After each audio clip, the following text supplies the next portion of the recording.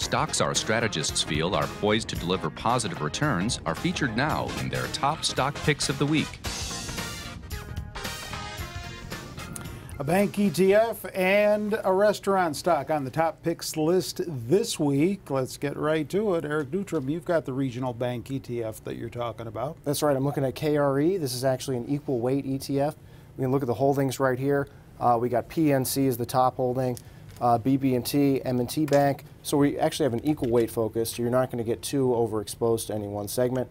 Uh, I'm liking this space this week because we've got the Fed coming up, and I think while we won't see an interest rate hike you know, in this meeting, mm -hmm. I think they're going to sort of play up the opportunity that, hey, maybe there might be a hike in the following meeting, and I think some investors might see some uh, T-bill T-bill yields go a bit higher, and that's going to be great for the regional bank ETF space. If we look over here at the uh, the chart, we can see that uh, KRE is actually underperforming the market year to date, but uh, after this point in, mid-February, they've actually been surging a bit, and I think we're going to see this trend, and uh, hopefully KRE continues to uh, gain some momentum here, and I think it's going to be a great week for this number two ranked ETF.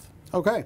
Nina, you are talking about Dine Equity, ticker mm -hmm. DIN. They own the IHOP and Applebee's brands. Yes, right? uh, in fact, uh, with uh, more than 3,700 full service restaurants around the world, they're one of the largest full service restaurants, uh, restaurant operator in the world.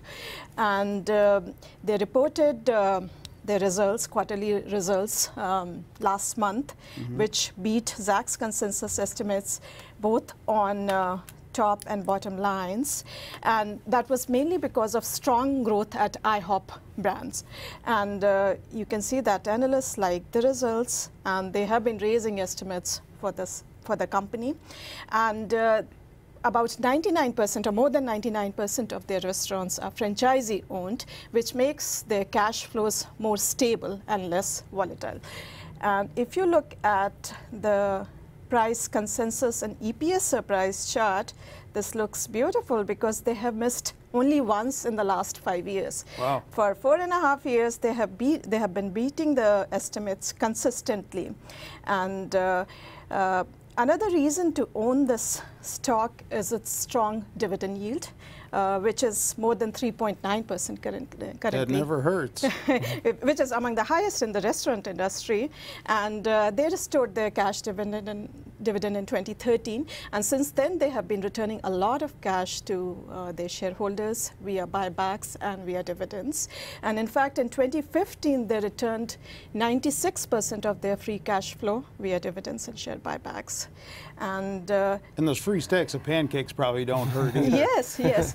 and that is the main reason with, because of strong growth and strong uh, dividend yield that we own them in, in, income investor portfolio. You do own them yes. there. All right.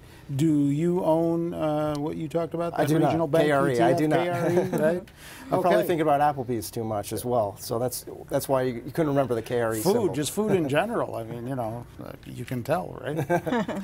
Thank you for that. Don't forget, you can go over to Zacks.com. That's our website, and that's where you'll find a lot of other information on stocks and ETFs commentary, picks, picking strategies, all able to be linked to right off the homepage at Zacks.com if you're not there already watching this video. With Eric and Nina, I'm Terry Ruffalo.